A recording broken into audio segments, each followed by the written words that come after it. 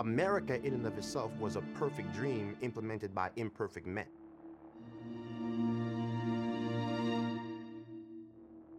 But the foresight of the founding fathers was to understand their innate imperfection and to create a system that was empowered with the mechanics for change.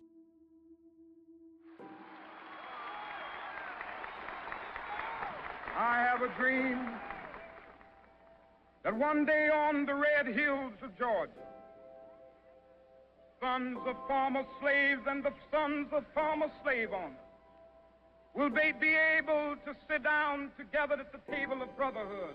I have a dream.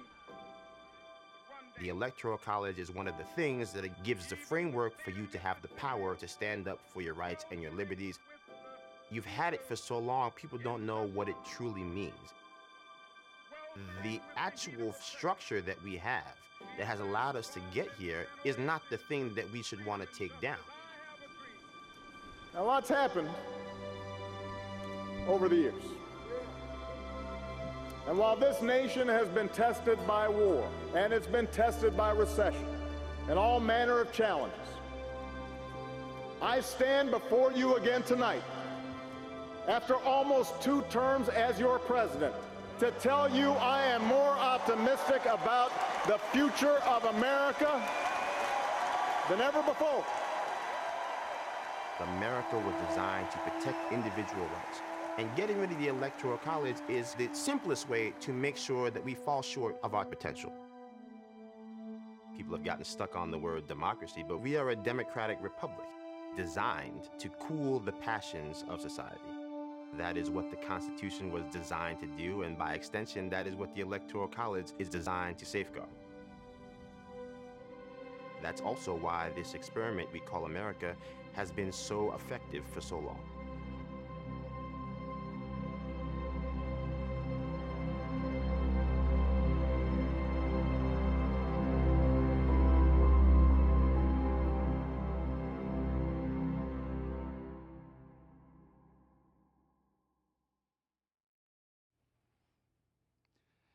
I, remember when I when I first studied uh, American politics and constitutional constitutionalism, the the idea of electoral college is always kind of an outlier.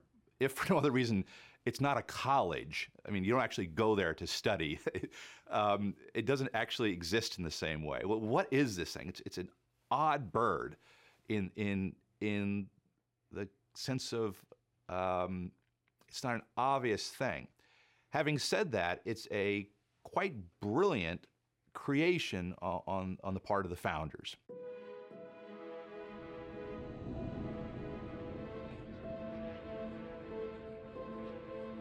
After the American Revolution and before the Constitution, you have this period of time where we had a different Constitution called the Articles of Confederation.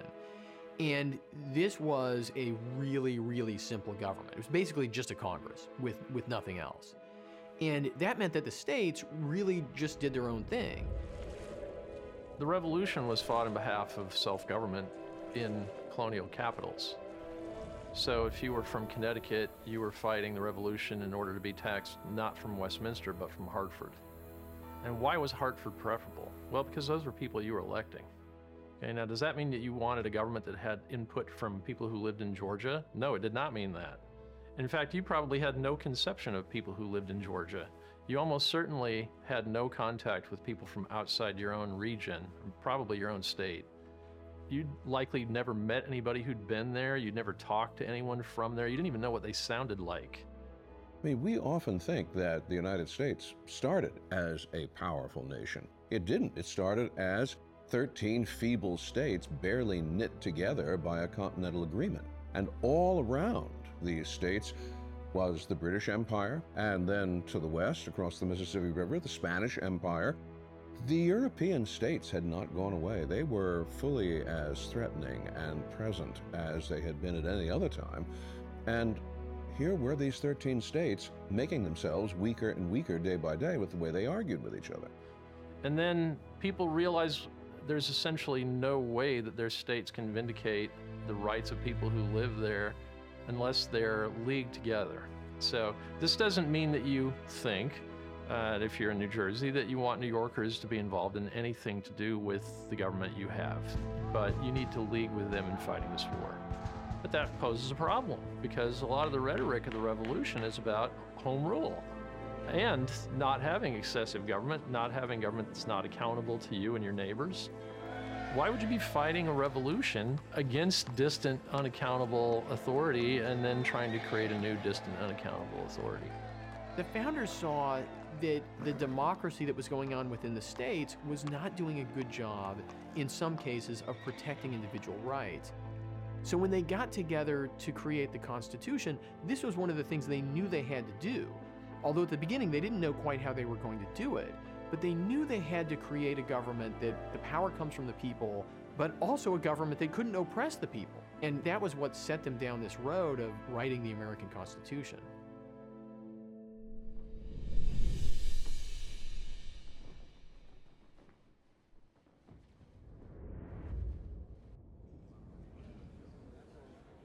In order to create a government that would work, the founders of the Constitutional Convention realized that you had to create a federal government that was going to be able to exercise in an effective way three basic functions of government. One is legislating, one is putting that legislation into effect, and the other is judging the laws that are passed by the legislative branch and carried out by the executive branch. And that's the judiciary.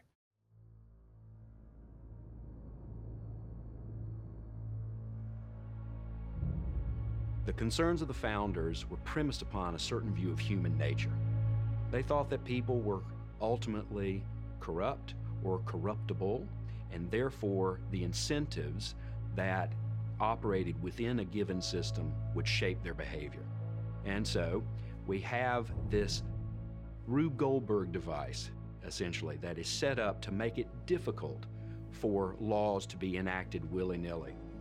The founders knew based on human history that the same government that has the power to imprison you or even take your life or take someone else's life should not be able to make decisions quickly. Because through history, often minorities were disadvantaged at the hands of government.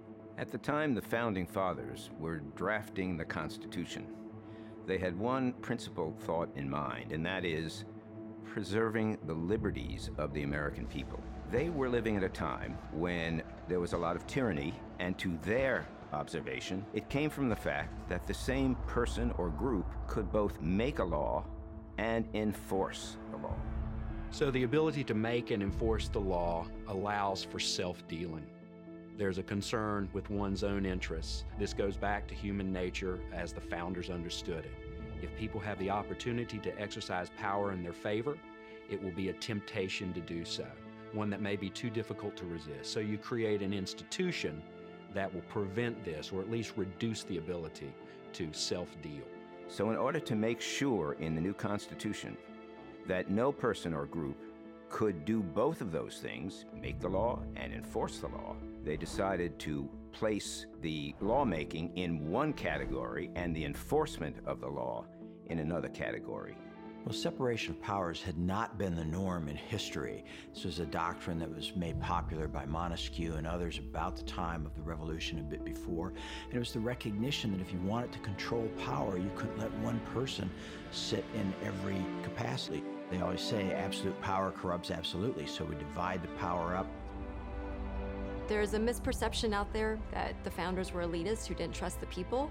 And the reality is they didn't trust anybody. They knew that left to his own devices, the president sometimes will abuse his power. Left to their own devices, the Congress sometimes will abuse its power. Same with the judiciary, the national government versus the state government, the elected officials versus the people who are voting for them. Everybody is subject to this problem of human nature. And the founders set up a system of absolutely nobody is trusted. Everybody is given a little bit of power to check the others, to create accountability. And the founders hoped that in this way they would protect liberty from the imperfections of human nature. Liberty, when you examine what the founders thought about it, meant fundamentally that the citizens of a republic could conduct their business, go their way, and live their lives for the most part unmolested by the power and the intervention of the federal government. So, what do you do? You take liberty and you protect it from its chief enemy, because the chief threat to liberty is power. Well, what do you do then? You take power and you divide it. You make the different parts and aspects of political power, in effect, quarrel with each other and expend their energy balancing each other. Because when they do that, then they're not going to be a threat to the liberties of the people. So, this was the central problem of the Constitutional Convention. How do we empower government and yet curb its excesses of power? What was finally arrived at after long months of debate was the idea of the single president who would have all the responsibility of the executive authority in his hands, but who would also be limited in certain important ways by powers that were distributed to the legislative branch and to the judicial branch. Yesterday, December 7th, 1941, a date which will live in infamy. The United States of America was suddenly and deliberately attacked by naval and air forces of the Empire of Japan. What does the president do? The president is there to act now. He doesn't make the law. In the Congress, a slow process is very good. With an executive, a slow process can often be very bad. In a crisis, you may not have time. We need executives who can execute and execute effectively and quickly. The president's not supposed to have very much power over how government works. The president's supposed to make government work. The president's supposed to be in charge of actually getting things done, but not deciding what gets done or what policies are going to be carried out. That's supposed to be Congress. As Congress has done less and less, the executive has had to do more and more, and it's shifted our political attention to the White House, and uh, you know it's, it's why we have these big fights over presidential elections.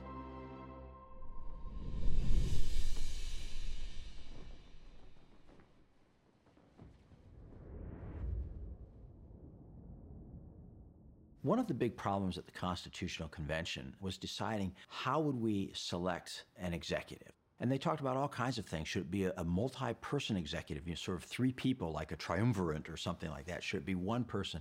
And how is that person going to be chosen? Some folks thought that it should be people should vote and the executive should be relying on the popular vote. But representatives primarily from smaller states were concerned. They said, well, the bigger states have more population and they'll just rule everything. They went back and forth, small states versus large, the whole summer. And finally, at the end of the summer, behind closed doors, in a subcommittee that had been dispatched to wrap up some remaining items, that's where the idea for the Electoral College was generated. And all we really know about it is that one of the delegates later wrote, Mr. Madison took up a pen and paper and he sketched out an idea. And that's what we know. They came back and they presented this electoral college idea to the full convention. And they tweaked a few things, but they largely accepted the idea that Madison and the other subcommittee members had presented. And that's how we got our electoral college.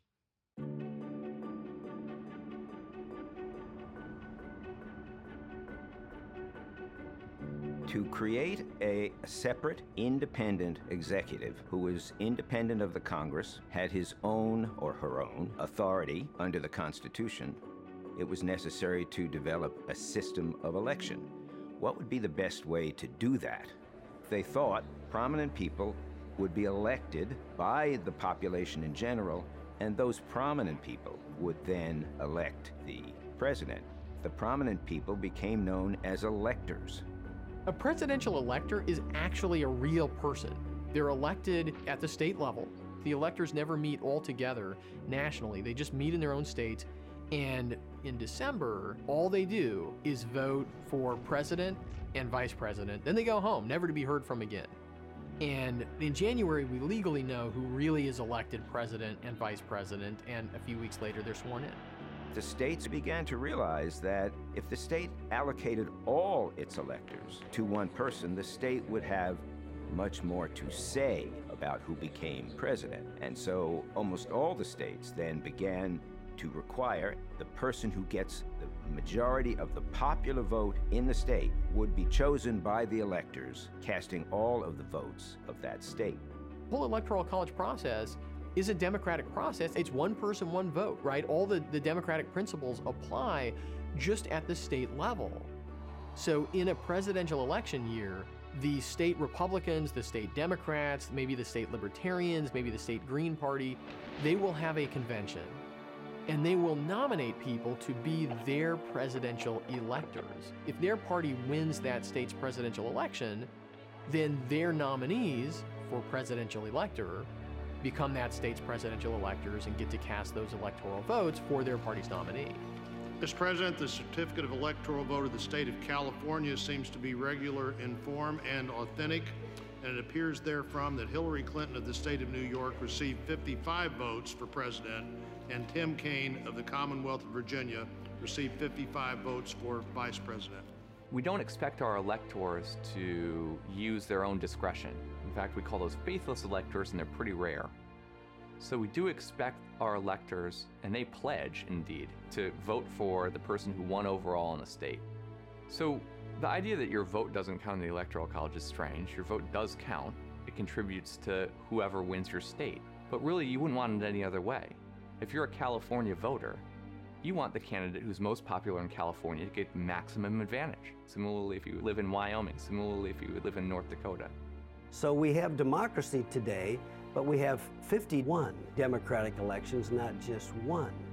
And so they decentralized those votes to recognize that states are different. You can think of the World Series the same way. It's not who gets the most runs in seven games, it's who wins the most games. And the Electoral College, it's who wins, in effect, the most states, not just who gets the most votes in total across the nation. And those are very different systems, but no one says the World Series is undemocratic because, you know, my team got 24 runs in the series and your team got 12, but they won more games. It's just each game becomes its individualized contest. The Electoral College idea reflected the compromises that had already been made in the composition of the legislature. So, of course, in our Congress, we have a Senate with one state, one vote representation, which makes the small states happy. That is what they were used to before we had a constitution at all. It also has a House with one person, one vote representation, which of course satisfied the big states because their larger populations would be reflected. The Electoral College reflects the same compromise, and the reason it reflects that compromise is because you have the same number of electors as you have members of Congress. So there is an element of one state, one vote in the Electoral College, but there's also an element of one person, one vote. California still has many more electors than a state like Wyoming or Rhode Island. This system solved a lot of their philosophical problems of a democracy within a republic. It also played the role of kind of breaking up regional factions, which was something they were extremely concerned about, especially at the time of the founding. And it made the presidency representative of all the popular aspects within the federal government, such that the presidency today is the one office, in this case, an office that's an individual, that actually represents all the American people as opposed to a particular state or congressional district. So after all this, it's quite ironic that the Electoral College is being attacked as being anti-democratic, when indeed the, very, the creation of Electoral College made executive leadership possible within a democratic republic. And without that, I think the system really wouldn't have worked, and actually many of the regional divides we all know about in American history would have probably broken down a long time ago.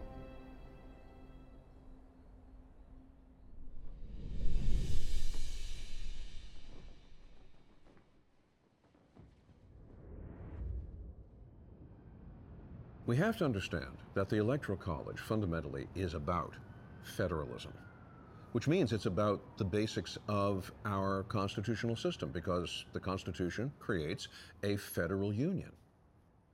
Federalism fundamentally means that states which have their own sovereignty as states agree to act for common purposes in creating an overarching umbrella federal government that will help them do as a collective what is difficult or impossible for them to do as individuals. For instance, states are perfectly competent to design their own educational systems, build their bridges, and designate their state capitals. They are much, much less competent to conduct foreign policy, create armies, and build navies. Far better for a federal government to be responsible for. That is exactly the balance that the federal Constitution creates. State governments are independent sovereigns. The federal government cannot tell them what to, what to do. And that's an important way of keeping a check on the power of the federal, or in this case, central government. The federal system we have, I think, works exactly the way the framers designed it and envisioned it to. It's often been said that the states are the laboratories of democracy, and that is very much the case. In Wyoming in 1892, they let women vote long before anybody else wanted women to vote. Other states soon followed, and this has happened in other ways as well, whether it's abolishing slavery or enacting certain civil rights measures. And if the federal government were left to be in charge, we would basically be waiting for 50 sets of representatives and senators to all simultaneously come to the same revolutionary way of thinking and to enact some of these measures. Whereas when you can rely on a smaller subset, one state or one region or a group of states, to have these new ideas, it's easier to get the ball rolling.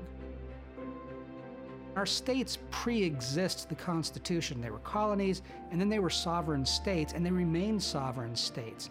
And the Electoral College is what pulls them together in order to elect a chief executive that is over all of them, protecting and making sure that the smaller members of the Federation, of the Federal Union, are not simply overwhelmed and ignored by the popular vote nationwide.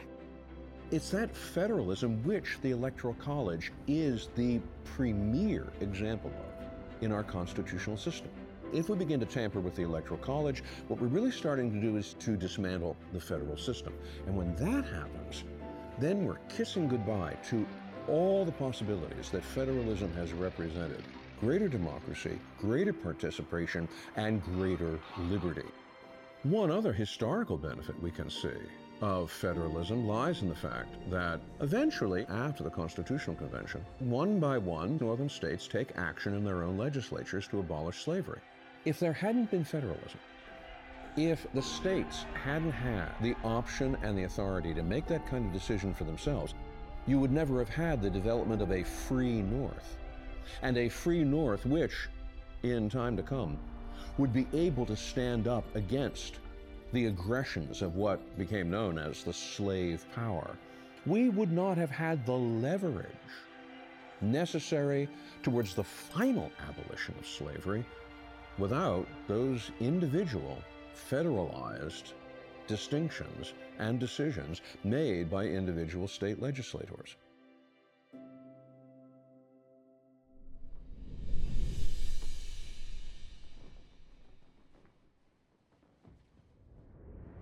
We also, as we sort of grow up in this country and we vote in all sorts of uh, uh lesser elections, the principle of majority rule uh, seems to prevail in virtually every other election. I don't understand why, at this point in time, we continue to adhere to a system that, again, undermines, in my view, the principle of political equality and simply doesn't follow the straightforward logic of majority rule. The trouble with the word democracy is it means lots of different things to lots of different people. When the founders talked about democracy, they thought of a bunch of people getting together and voting on stuff. When people talk about it today, they often use it for what founders would have talked about as a republic. So when the founders were creating our country, they had several examples to look back to in the past of places where the public ruled. And those places were primarily in antiquity, Greece. And there, the public ruled directly by making decisions collectively of course, that was impossible in an extended republic like ours. to bring all of the American citizens together, even at that early stage. So they understood that we needed a Republican form of government. And what they meant by that was a representative form of government, where the will of the people is translated through elected officers. They wanted the public will to be refined and enlarged through our representatives. They not only thought a democracy would be impossible in this extended republic, but also unwise. I mean, ultimately, you have to decide do you value democracy or do you value individual rights? And so it's always majority rule, minority right. If everything is simply 51%, then that gives me an interest to just get my 51%, make it as less diverse as possible so that I can actually govern and ignore you 49% of everybody else. The notion that the country is ruled by the majority is a fiction. The biggest problem that the framers had to deal with was the difficulty that basically we don't all get along in the sense that we have different interests. Once people have liberty, they will tend to fragment. And that's the problem. The question is, what do you do about them? And there are two ways to deal with it. One, you try to get rid of them, which they do in tyrannical countries, despotic countries, or you adopt the solution that our framers adopted, and that was you divide and conquer. What you make sure is that you have many factions, not just a majority faction and a minority faction. When you say 50% plus one, you're referring to one big faction versus everybody else. But in this country, we have many, many factions. We try to multiply the factions. And the more we get, the less powerful any one is. These are all very carefully crafted checks and balances that establish the idea that the majority generally should get its way in a number of areas, but we are going to have mechanisms that from time to time are going to frustrate the majority. We see that in Supreme Court rulings from time to time. We see that when the Senate is able to block legislation. Occasionally, we see it in the election of the president. The majority generally gets its way in our federal republic, but not always. The Constitution does not establish a democracy. The Constitution is about establishing self government in a way that protects individual rights, which oftentimes is directly at odds with democracy. If what the majority of the people want in some particular moment is to interfere with the rights of a minority. Well, the Constitution was set up to have varying degrees of the democratic process show up in different places. Most obviously, the election of the House. But also, you see this in the delegation of power to state legislatures all through the Constitution, where the state legislatures can decide how to elect the electors, how to run an election, how to manage their own affairs. So the founders have a lot of democracy, if you will, in the election of the House, and they have little bits of democracy elsewhere, but it's also balanced with minority rights, and that's what makes the Constitution such a brilliant document. Abraham Lincoln had to deal in 1858 with an opponent in the form of Stephen A. Douglas. Stephen A. Douglas was a firm believer in democracy. He was so firm a believer that he believed that it was up to every citizen in every territory or every state to cast a majority vote for whether they wanted to have slavery or not slavery. He didn't inquire into the morality of slavery. He simply said that if a majority of the people in a given territory or a given state wanted to have slavery, then they could have it if that majority voted in favor of it. No further questions asked. For him, democracy was an end in itself. That's all you needed to ask. What did the majority want? In modern democracies, we sometimes talk a little carelessly in the tones of Stephen A. Douglas that what matters is whether a 51% majority has endorsed something. And that is true up to a point. But there is a circle that is drawn around a set of rights. Rights that Jefferson talks about, rights that are articulated in the first 10 amendments to the Constitution, the Bill of Rights. So we recognize that even in a democratic system, there are certain non negotiables that majorities cannot pass on. But we've been told that, well, as long as it's democratic, it's fine. That's a terrible idea. The most undemocratic part of the Constitution is the Bill of Rights. I mean, the Bill of Rights is flatly anti democracy because the Bill of Rights says we don't care how big your majority is. You can't establish a national church. We don't care how big your majority is. You can't outlaw the press. We don't care how big your majority is. You can't turn to a private group that wants to influence politics and say, we're going to outlaw you meeting together. And these things will always be in conflict. Every American has to decide do we value democracy more or do we value individual rights more? Historically, the answer in our Constitution is we value individual rights more than democracy. Democracy is a great process, but it's a process, it's not a purpose.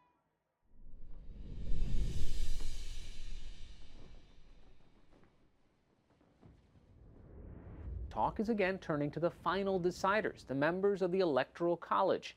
After Hillary Clinton won the popular vote but lost the Electoral College vote to Donald Trump, there were new calls to abolish the constitutionally mandated system.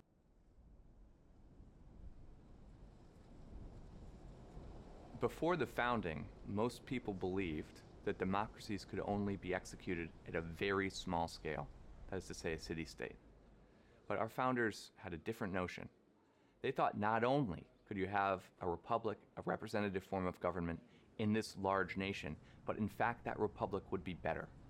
And the reason it would be better was because if you enlarge the scope of the people within a government, those people have to form coalitions in order to govern. And there's rarely going to be an instance where 50% or 51% of the public feel the same way across every issue.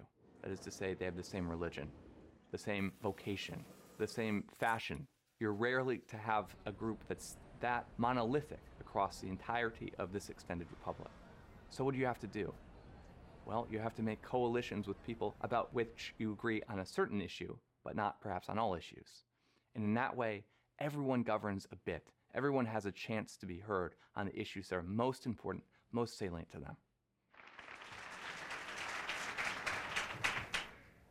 Thank you. Well, it's no secret. I'm here today to announce that I'm running for President of the United States. One of the things that probably they didn't even fully anticipate was that the Electoral College would force you as a presidential candidate to have to put together a national coalition. You couldn't do it winning one popular state or a sectional candidate or a special interest candidate. You had to bring together diverse groups. You may be unified by a certain principle, but on other issues, you may not be so much together on. Culturally, you may not like each other but it was a system that allowed for political competition, but doing so in a way in which you try to bring people together rather than trying to find ways of dividing and inflaming passions. So, what the Electoral College does, it forces everyone to make sure that they make the rounds, not just to middle America, not just to the financiers of the world in New York, not just Tinseltown in California, to make sure that they make the rounds going to all the states, all of America, to bring their unified message. The presidential vote is not one big thing. It's broken into pieces. And how you put those pieces together like a puzzle is how the president creates a governing consensus. The Democrats are a going concern in the most Republican states, in Oklahoma, in Wyoming, the Republicans have campaign offices in political organizations in California, in Vermont. This is part of the Electoral College driving the parties to constantly be probing can we pull this state or that state into our coalition? We hear this talk every four years about expanding the map. That's Electoral College lingo, right? Expanding the map means reaching out, winning people over, building a bigger coalition. Expanding the map is an inherently good thing that comes directly from the Electoral College. Without the Electoral College, the presidency would be decided in Boston, New York, Chicago, Seattle, San Francisco, and Los Angeles. That's where the game would be without the Electoral College. Instead of that, you have candidates for president going all over the country and not just going to urban cores. politics are local. So the Electoral College brings a national campaign to the local community. Candidates have to be careful about how they allocate their time and resources because it is unproductive to spend too much time in one part of the country or in one big city. So, over and over again throughout history, presidential candidates who have tried to overly focus on one type of voter have failed. The Electoral College does not reward that. On the flip side, if we had a national popular vote system, we would suddenly find that that strategy became very productive because it's easier to go spend a bunch of time racking up votes among voters that already want to vote for you. You can imagine a Democrat running out to Los Angeles or San Francisco and promising the environmental lobby anything they want. Because if you can get 100% of California voters behind you, that's way better than getting 50.01% of voters behind you. Likewise, you can see Republicans running out to Houston and Dallas and promising the oil interests anything they want. You're now just chasing a few ideas and policies in the most populated areas.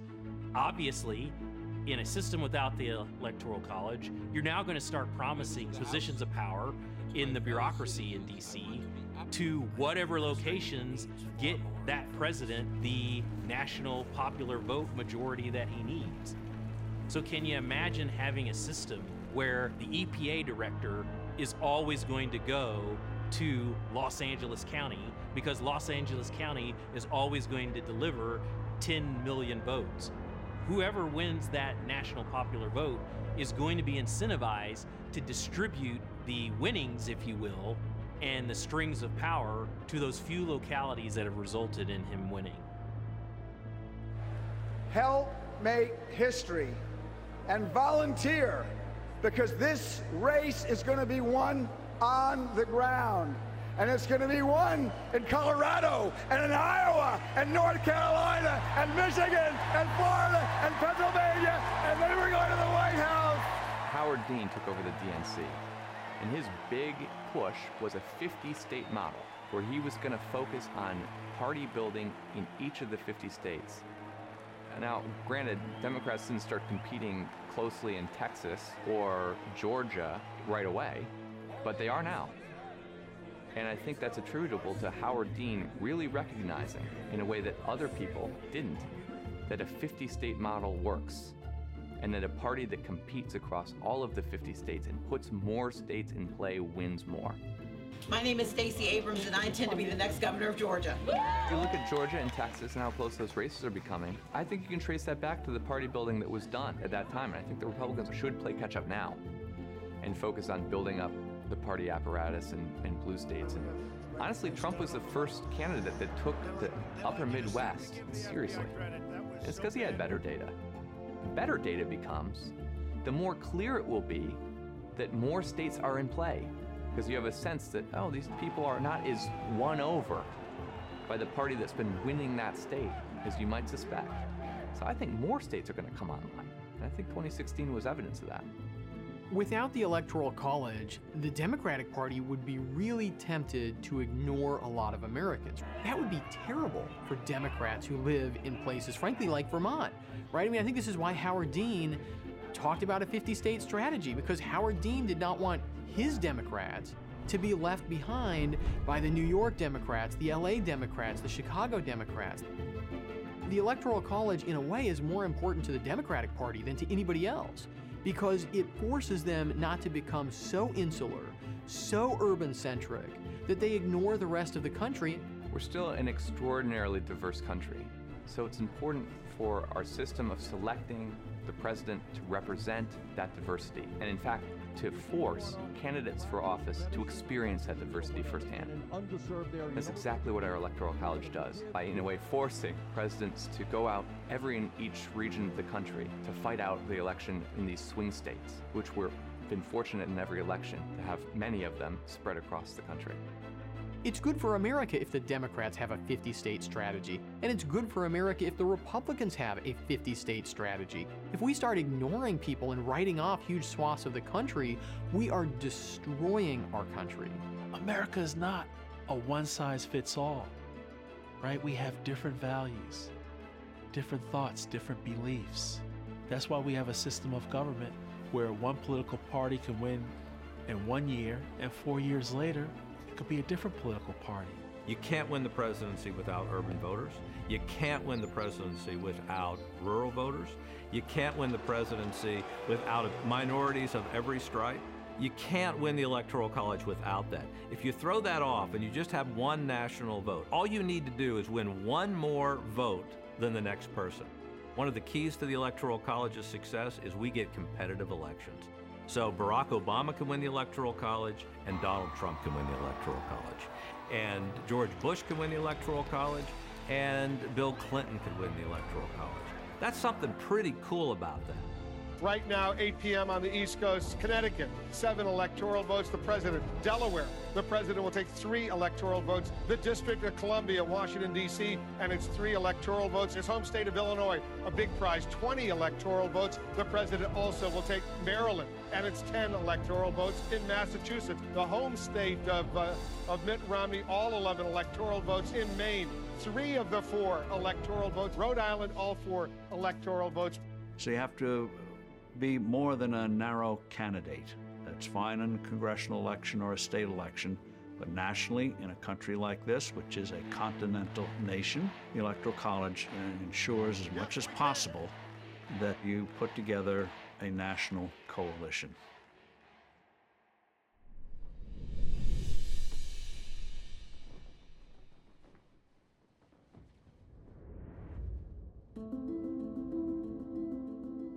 Another way that the Electoral College works in the direction of conferring legitimacy is the way that it sustains the two party system. We have had a two party system since the 1790s. People in the Constitutional Convention hadn't envisioned a party system, but the party system did come into existence. One major reason that it comes into existence is the Electoral College. Now, sometimes we have had third party candidates, there have been occasions which we have even had a fourth party candidate, maybe even a fifth. They tend to be very narrow, single issue kinds of events, and they're often quite ephemeral because they're built around personalities. The assumption, I think, is once you eliminate the Electoral College, that we will continue to have two parties. And so that will mean that everyone who's the nominee of one of the major parties will come very close to getting a majority. If not a majority, at least very close to a majority. But that's not true, because once you eliminate the usefulness of the Electoral College, if you go to a system where it's just the popular vote, you could have 12, 15, 20 parties. To get the majority in the Electoral College, you need to concentrate people's votes behind a limited number of candidates.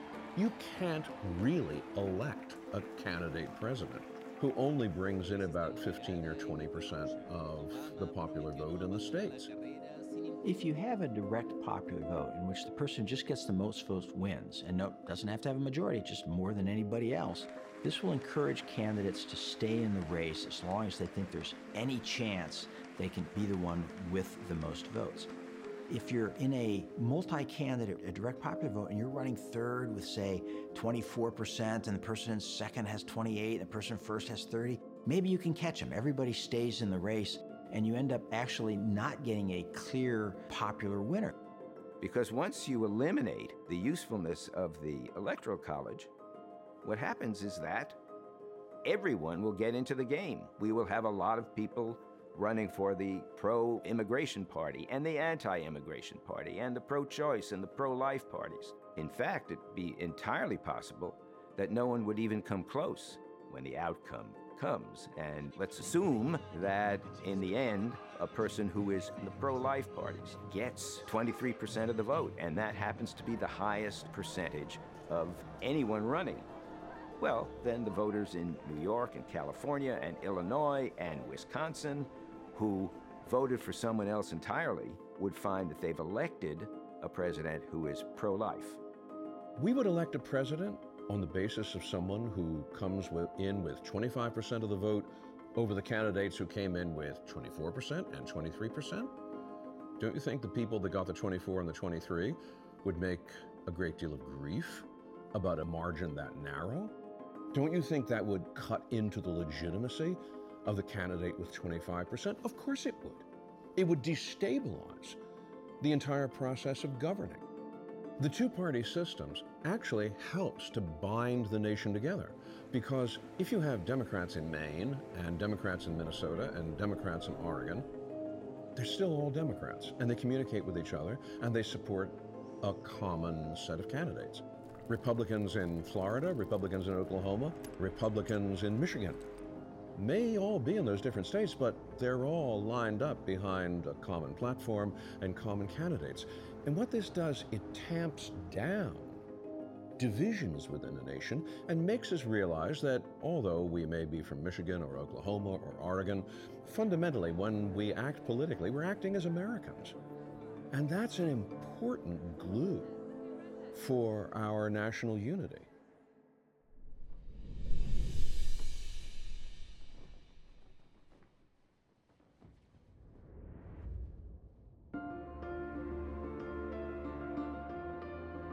With the Electoral College system, if you want to get elected, you want to attract a broad spectrum of the American people. So that keeps people who have very extreme views out of the presidential race. If you can win the presidential race with just 25% of the vote, then the kind of extremist candidates that we don't want to have running the country might be able to win the presidential election. Without the Electoral College, there's no longer any motivation to compromise. The attitude becomes, my 18% beat your 17%, so I really don't care what you think. And what you see in those situations is extremists tend to be rewarded because they no longer have to tone down, they no longer have to work with others. And so extreme positions can have a lot more influence on the process. We have a bifurcated system. There is a left and the right in the country. But within the left and within the right, we also have a variety of different positions. This big tent approach to American politics is extremely important because it's not just diversity, it's also a concern with avoiding extreme politics. And so some scholars have called it the dangerous factions that could develop if appeals to extremism were allowed to be made in terms of making a successful run for the presidency. And so one of the virtues is not only the reduction in the number of candidates, but what that does is it forces the candidates to make broad brush appeals to satisfy a variety of sometimes conflicting interests and constituencies. Even when you have one party which scores a complete sweep in an election, wins the White House, wins the Senate, wins the House of Representatives, what you have afterwards is not a single monochrome point of view. What you have is the victory of a national coalition. What you have to have is a party then which starts talking within itself and saying, all right, we're going to govern it all. We've got to arrive at some averages here. The two party system mandates that they start shaving off the extremes and come down to the averages. They come down to the averages because they're a two party system, and they're a two party system in very large measure because the Electoral College pushes us, nudges us in that direction. And a mainstream appears. And what you get then is a stable democracy.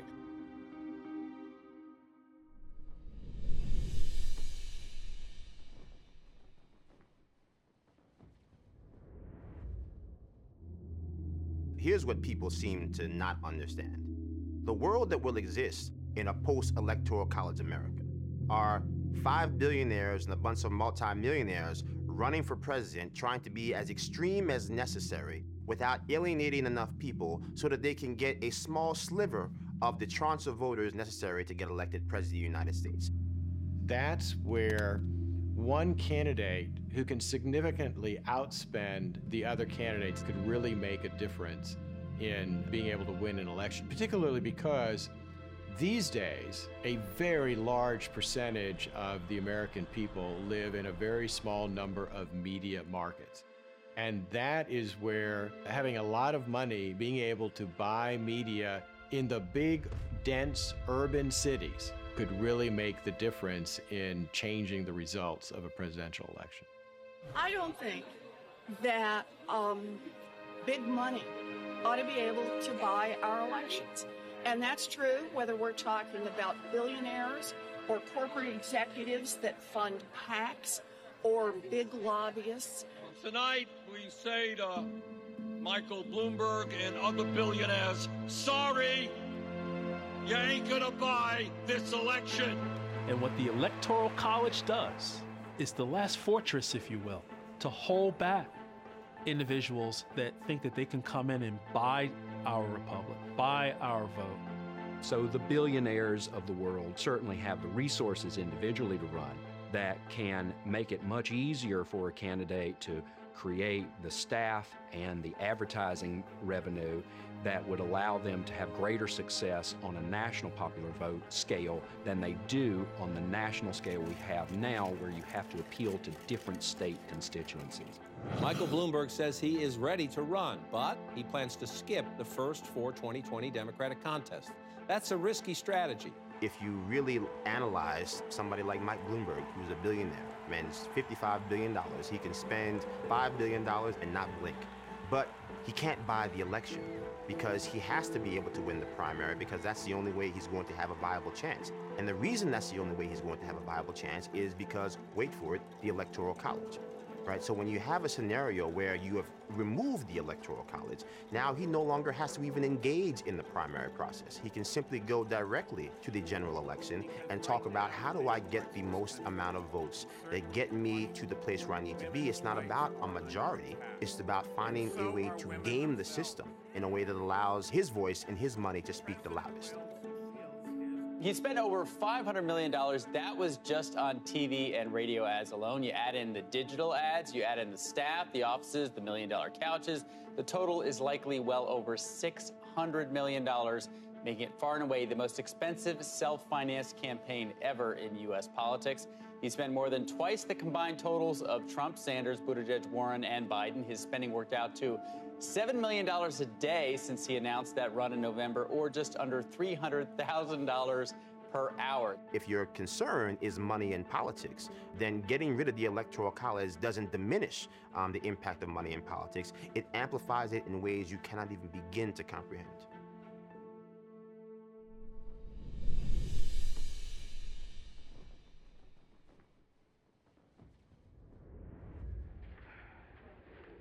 The certified result in the presidential race in Florida is as follows. Governor George W. Bush, 2,912,790. Vice President Al Gore, 2,912,253. Accordingly, accordingly, on behalf of the State Elections Canvassing Commission, and in accordance with the laws of the state of Florida, I hereby declare Governor George W. Bush the winner of Florida's 25 electoral votes for the President of the United States. I think we all remember seeing those pictures of the vote recount, of the hanging, dimpled, pimpled, pregnant, swinging chads, and seeing all the different cases in the counties. But the interesting thing is, as bad as that was, as much as the entire nation was holding its breath and waiting to see what happened, as many lawsuits as there were, that was really just about one important state. If we had had a national popular vote system in place, rather than having a chaotic, contentious recount in Florida, we would have had a contentious, chaotic recount in every state in the country. Once you have more potential for recounts, you also have the potential for greater fraud. And so, efforts on a national popular vote to encourage fraud would certainly be incentivized because it would potentially be more difficult to reveal the fraud on a national scale. And the easiest place for fraud to be committed is in jurisdictions that are controlled by one party. Because the other party isn't there to have poll watchers, to have poll workers, to basically have a system where the two parties are keeping an eagle eye on each other. And unfortunately, with the national popular vote system, it would be an incentive to commit fraud and try to change the outcome of elections. You'd need tens of thousands of agents at each polling place. You could say, Well, I live in Philadelphia. And you could go to Wilmington, Delaware and say, I live in Wilmington, Delaware. You couldn't have polls close at different times. You'd have to have them uniform, as they do in Canada and in Europe, because they don't want early voting in one part of the section of the country influencing another part of the section. The 50 states have very different rules. Half of them require a driver's license to vote, half don't. Some have mail in ballots and some don't. Some allow for early voting and others don't. Some go from 6 a.m. to 6 p.m., others go from 6 a.m. to 10 p.m., etc. We would have all kinds of equal protection problems because we'd have different rules. You would have to figure out how are we going to run that election.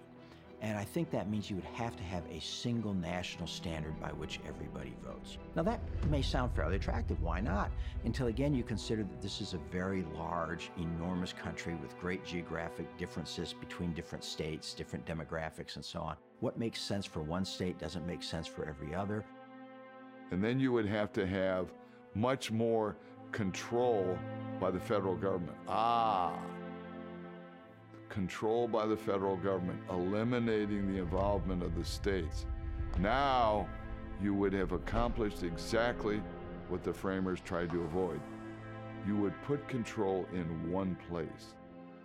And how are you going to stop the corruption there? Whichever party it is.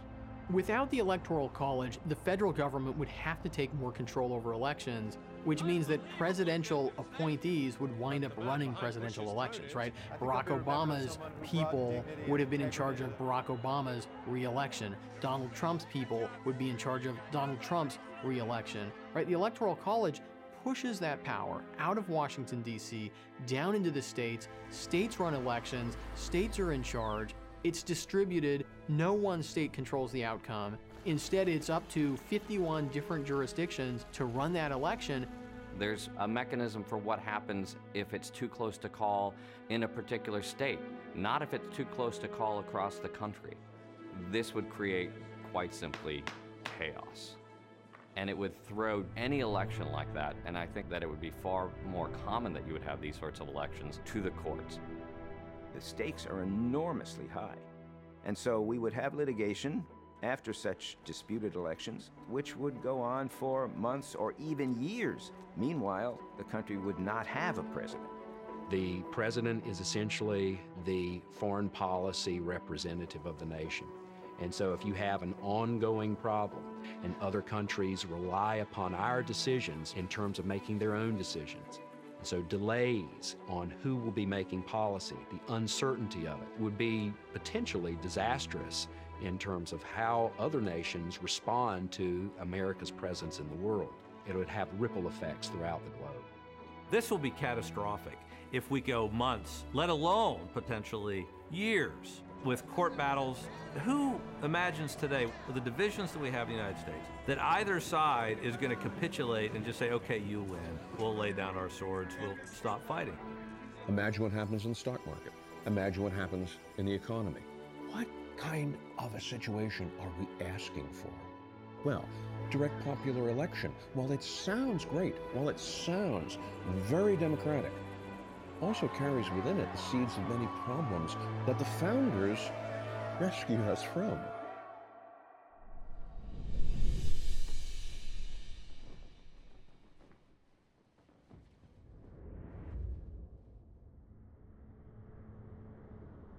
You know, sometimes you hear people say, well, whoever wins the popular vote should win. And if there's more people in the cities, if they win the popular vote, then that's just the way it is.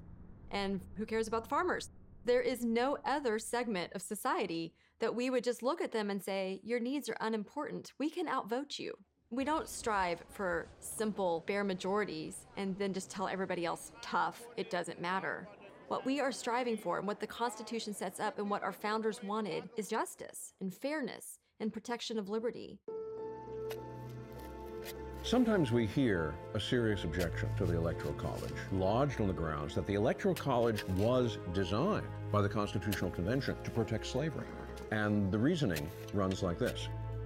The Electoral College is composed of representatives from every state based on your number of members in the House of Representatives and your number of senators. Well, isn't that a revelation? Because in that case, that means that for the purpose of representation, southern states could count their slaves, slaves who otherwise were not permitted any voice in the political process, towards their representatives, and those representatives would therefore pile up in the Electoral College and there would be an artificial bonus given to slaveholding states to cast votes in favor of pro slavery policies. And thus, the Electoral College, designed to operate by the Constitutional Convention for the interests of slavery. And a great aha moment erupts at that point. The difficulty is that it is an aha moment with no air in the balloon. In 1787, all of the states, not just the southern states, excepting alone Massachusetts, legalized slavery. There was no bonus paid by the Electoral College to slave owning states versus free states. All the states enjoyed that bonus. The largest slaveholding state in the Union in 1787 was Virginia. The largest northern slaveholding state, New York. The Three Fifths Compromise is not created for the Electoral College. It is created for the House of Representatives. The founders need to figure out how do you represent the people and the states. Well, already built into the system is the representation for the House, the representation for the Senate. All they do is say that math has already been vetted, it has already been through the compromise. The North is agreeing with it, the South agrees with the West, and the East agree with it. We agree with that. That is the great compromise. We will build that into the presidency when the Electoral College is finally determined upon as a mechanism for electing the president, the question of slavery never entered into the consideration because it wouldn't have had any application. There was no Electoral College advantage for slaveholding states because in 1787 they were all slaveholding states. 25 years later, that's going to change as northern states, one by one, move into the non slaveholding column. But the members of the Constitutional Convention weren't writing the Constitution with a view towards saying, aha, 25 years from now, we know that there will be a bonus for slaveholding states in the Electoral College. Well, yes, there was, but it was a temporary one. It was already ebbing away by the time Abraham Lincoln is elected proponents of that argument have decided that if they tarnish the institution of the Electoral College with racism, then that automatically means it is suspect and needs to be replaced. But it's just ahistorical, it's not accurate, and it's not really honest, frankly. Charging the Electoral College as an institution for slavery really delegitimizes the plight of African Americans for generations. But it also completely ignores history if you look at the kinds of people that were advancing the causes, what did people like Frederick Douglass say? They said that ultimately these systems actually were helping bring about the freedom of slaves, that they were resulting in the ability for slaves to overcome their oppressors in the South. Yes, nobody can argue that some of the founders had slaves, some of them didn't.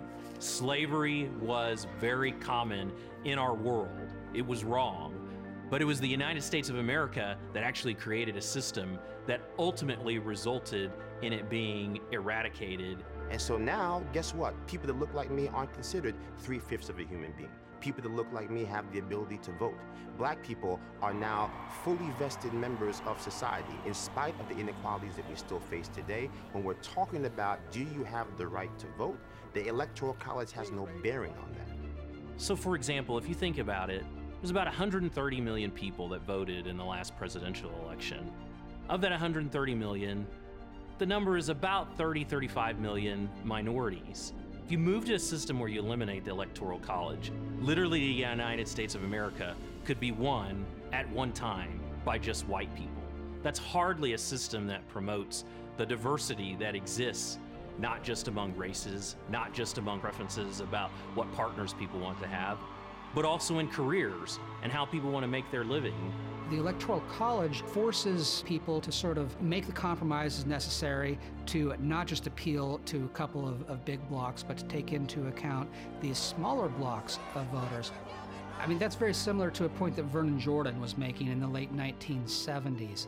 The Electoral College ensures that racial minorities have representation by being sort of the tipping point in a number of states and are able to influence which direction that state's electoral votes go. What purpose would there be for a candidate to appeal to the interests of African American voters. If in a national popular vote, African American voters amount to only 7% of those casting votes, not really all that significant, so you pay no attention to African American voters. In the Electoral College system, you do have to pay attention to African American voters because in a number of key swing states, African American voters are an important component of the voting public, and you had better have something important to say for African American voters to hear, or lose their votes. When you lose their votes, you lose that state, you lose that swing state, you lose the Electoral College. If you're a candidate for president, it is impossible to get elected president without black people voting for you. Now, you can say the Republicans have won elections, but they have found ways to get black people to vote for them. Not a lot, but enough, right? You cannot get elected president of the United States without support in the Latino community. You can say, well, Republicans haven't gotten a lot of Latino support, but guess what? They have gotten enough. And so when you take away the Electoral College, you create a scenario where people can get elected president of the United States without a single vote cast in their name by a single minority. That is the reality that we need to be facing. So if you're sitting here saying that it is right for someone to get elected who hates minorities abjectly and concretely, well then you should be terrified of an America that does not have an electoral college. The legacy of black people in America is well documented. We've had times in America when we've had no rights. We have even modern day society when many of the rights that we should enjoy freely still seem as if they come with strings attached. So that is a very serious thing that we should, number one, acknowledge, and number two, still confront in our regular lives when it comes to, again, building a more perfect America. But when you talk about how do we get to that more perfect union, how do we make sure that we are living Dr. King's dream, that all people are judged by the content of their character? You don't do it by, again, getting rid of the one thing that has empowered black people to be able to leverage political power. We can have arguments about are there presidents who are hostile to the interests of certain communities. You know, what we're not talking about is a scenario where somebody who got 18% of the vote um, ends up becoming president of the United States. But we have never had a president in the modern era who has campaigned to take away rights of Americans, actually rights enshrined in the Constitution. That is a scenario that we could end up confronting in a world where we have gotten rid of the Electoral College. In the election of 1860, we had three separate parties, four if you count the splinter party. The candidate who won that election did not win a majority in the popular vote. Candidate of the Republican Party, in that case, actually won only 39.9% of the popular vote. Yet, that candidate won a significant majority in the Electoral College. And so, that candidate was duly elected President of the United States. Now, you might say, yes, but it wasn't a popular election. Yes, that candidate wasn't elected by all the people. That's right, that candidate wasn't. But his name was Abraham Lincoln. There is no Emancipation Proclamation without the Electoral College, because without the Electoral College, there is no Abraham Lincoln as President of the United States of America. And while his total percentage was the lowest of any elected president, he was actually the most popular sort of national candidate to the extent we had one in that election in which the country was very divided.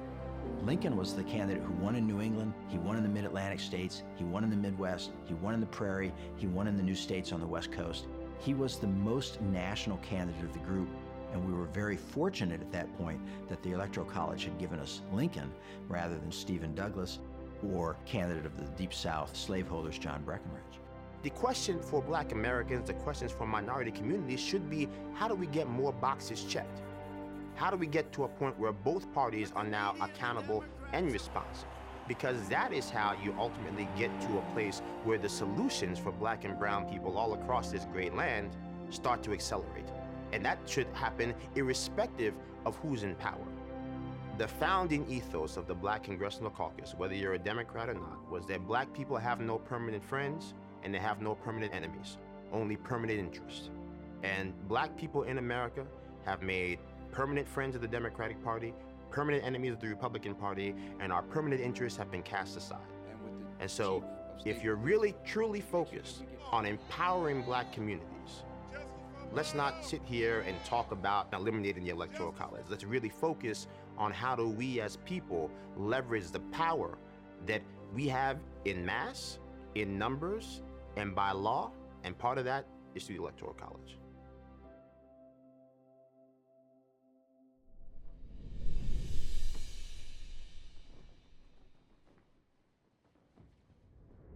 I hear Americans saying this nowadays, and there's a lot of it going around. They, they talk about a dysfunctional government be, be, because there's disagreement, and, and, and, they, and the framers would have said, yes, that's exactly the way we set it up. We, we wanted this to be power uh, contradicting power. Uh, unless Americans can appreciate that and learn learn to love the separation of powers, which means learning to love the gridlock which the framers believed would be the main protection of minorities, the main protection.